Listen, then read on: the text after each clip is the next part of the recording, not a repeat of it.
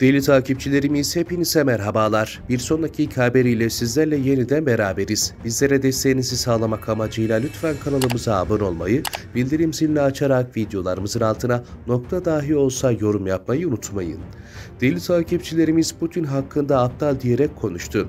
ABD Başkanı Joe Biden Rusya'da bütün gerilimi artırdı.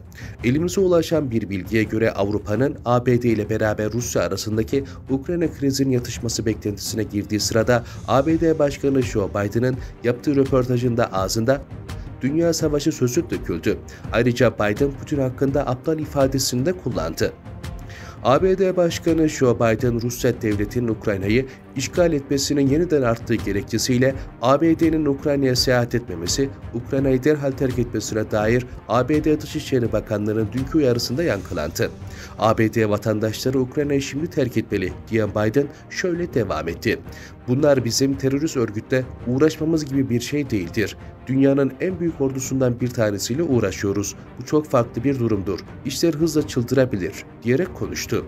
Değerli takipçilerimiz Biden ayrıca Rusya Devlet Başkanı Vladimir Putin'in Ukrayna devletine girecek kadar aptalsa bile ABD vatandaşlarını olumsuz bir şekilde etkileyebilecek herhangi bir şey yapmayacak kadar akıllı olduğundan söz edebiliriz diyen Biden, bunu hiç ona söylediniz mi sorusuyla karşılaştı.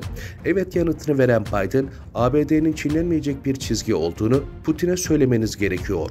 Putin Ukrayna'ya girecek kadar aptalsa buyursun girsin diyerek konuştu. Değerli izleyenler, ilerleyen saatlerimizde buluşmak ümidiyle. Hoşçakalın.